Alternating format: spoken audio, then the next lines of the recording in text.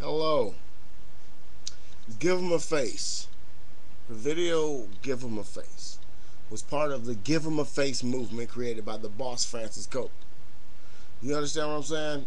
It's not a video about me ranting against anybody. It's about me telling people exactly how those people who carry on by writing negative things on the bottom of my page. If you look at most of my videos, I have negative things written about it on the bottom. People call me the N word, they get racist. Whenever the video pertains to race, whenever the situation is somebody white doing something to black, or somebody black doing something to white, or some police brutality, there's a white person or a hate group that writes negative things on the bottom of my page. Mr. Costco 21. Now, I'm going to call you Costco 21 because that's the name you came out with when you first came out. You can change your name constantly, but it doesn't matter. I only do these videos for my people. I'm not going to sit back constantly and comment on every video response people do. I don't do that. People say what they're going to say, I say something, and I connect their video. In this case, I cannot connect your video to the Give 'em a Face movement because you're not falling within the guidelines of the purpose of the video. As you see right now, you can't see my face. Give 'em a Face was based on the faceless people who write negativity on the bottom of one's pages. And 95% of the negativity I get is quote from white hate groups.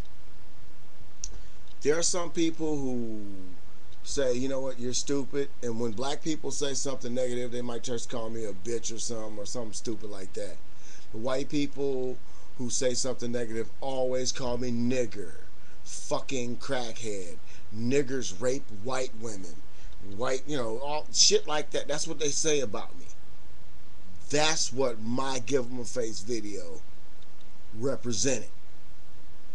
And as far as me putting my hand on my face, giving myself a mask, if you watch the entire video in its entirety, I not only spoke of the white people that hate on me on YouTube, I spoke of the black people that hate on me on YouTube and that play jokes and games and try to get you to do things that aren't real. I'm telling you. So, Costco, I'm not going to waste my time on this. This video will not be connected to Give 'em a Face because it ain't about Give 'em a Face. It's about you questioning my YouTube ability, I guess. I don't know what it is about people want to question me now. People want to take their pot shots at me. I'm not standing on the top of YouTube. Why don't you go take some shots at Chris Crocker? Or maybe, you know, uh, What the Buck? Or Sexy Phil. Take pot shots at those people. Take pot shots at uh, uh, Hot for Words. Take pot shots at Paul Sylvain, 7G7. Take pot shots at these partners out here and stop wasting your efforts to try to pick me apart in videos when I've already gave you your props and respect for being able to pick up a camera and talk if I'm the only person that can motivate you on YouTube, man, I'm sorry. If I'm the only black person that's saying something positive about white people or or how negative white people are towards white people, I am sorry. I can only tell you from my perspective. And like I say, in all these videos and every video I do, I speak from my eyeballs only. From what I see from behind my corneas, what's pushing what I see from my visions, from what I've gone through in life. I can only speak from my perspective, but I look at every situation from the other person's perspective. That's why I can speak on white and black subjects. I'm not one of those pigeonholed ass black guys who have only one thing bad to say about anything, and that's only black women. If you look at the state of YouTube, there's more black women and black men fussing and arguing over their little pitiful problems than others. there's more people saying negative things about black women than any other woman on YouTube or probably the internet. And um, I just saw the new promo for the new Fox lineup, and you have uh, a scene coming up in uh, Family Guy where Brian uh, walks across his, he meets this other dog, and this other dog has a chick on a leash.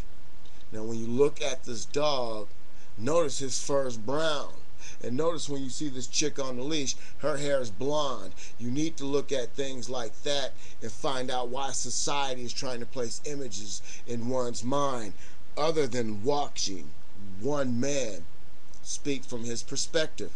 If there are some people out there that understand me and they can touch and pull and pick parts of what I'm saying out and apply them to what they're applying in their life or whatever, then that's fine. But there's people out there who can't understand me at all, and all they have is negative things to say about me solely because I'm black, then I guess that's fine too. That's what YouTube is for. Debate. But I can't understand why you, of all people, want to continue with me. I know you watch my videos. I appreciate that. And I've watched your videos replies too.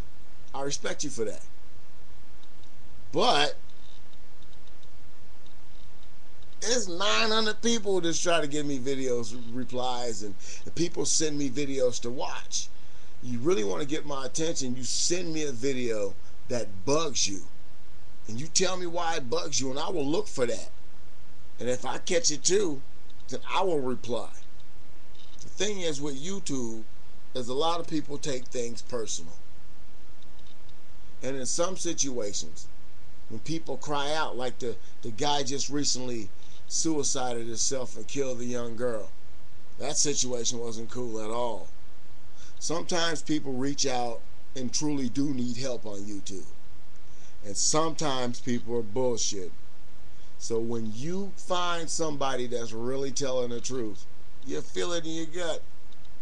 But right now, my state of YouTube is this. People come at me with drama. People expect me to give them drama. And I'm not full full of drama like that. My band just split up. I can't make music like I used to. And the only people that fuck with me on YouTube now are psychotic, who want to take me down. It seems as when you get past 800 videos, they try to take you down. I got to the 800 video mark before and I erased videos. Well, I got close to 800 and I erased videos. I'm going to start erasing some more videos now. It's because when people perceive you have a lot of shit for people to look through, when people understand that you have a library of knowledge or whatever, just thoughts, quotes, or whatever, that's why I have a variety show people tend to want to take you down. And the person that takes you down, he wears a badge for about 15 seconds. Until somebody gets mad enough to try to flag every video he has and take him down. Till next time, be kind to one another. Wait a minute. That's not my sign off speech. Wait a minute. I'm supposed to say something dramatic or I'm supposed to yell at you because you think I'm supposed to be yelling at you, or I can only do my YouTube thing yelling through people, yelling at people. Whoa, the 49ers are winning, yeah, great. But Costco is not worth yelling. I speak from my perspective. I want to watch a Costco 21 video that has nothing to do with the real AIX for once. I appreciate your time that you spent on me. But don't waste your time on me when there's much more out there in this YouTube world for you to look at. But if I'm the only person out here telling you truth, I'm the only person that you can see some truth in,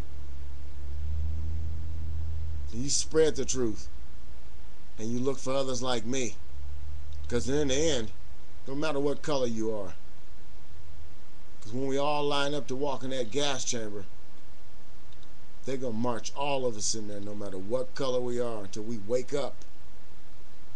Or they might just march you in there because I'm staying at home and you've been tubed. Woo! Come on, Niners. Oh, holding. offense, number 70.